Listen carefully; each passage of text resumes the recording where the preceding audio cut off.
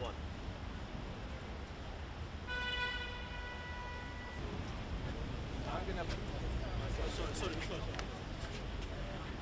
I have family in Gaza, extended family, who I'm desperately worried about. I'm desperately worried about everyone on the ground there and what they're going through. And there has been an outpouring, justifiably, uh, for those Israeli citizens who have been taken hostage, for the Israeli community and the Jewish community here in the UK.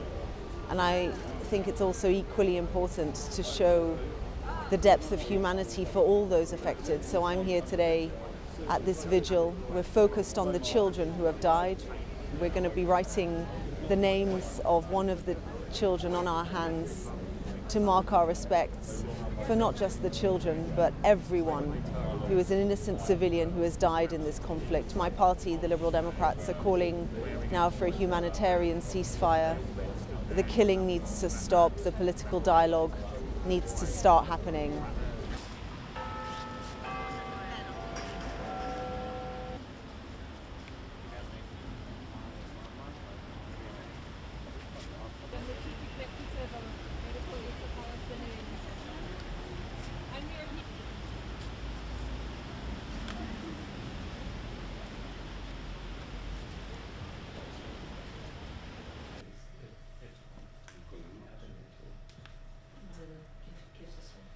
always just care about you.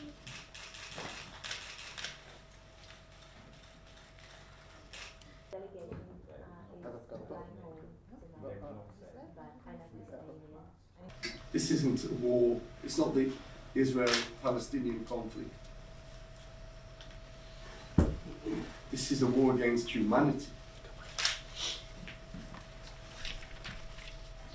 Nothing less. And it can't be that tomorrow everybody will turn around and say, okay, we reported it and we'll carry on. If you turn the other cheek this time, it'll haunt you back in the future. Israel is fighting the war of the West. Nothing more and nothing less. We had uh, tickets booked, a hotel, shows.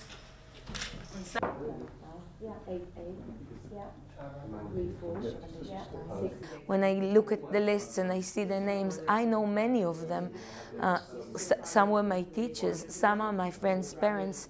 So we've all been affected, and the numbers are just so painful. So, uh, beside for um, for the effort to release my family, I won't stop until all hostages are back. I was born and raised in South Africa. So I immediately realized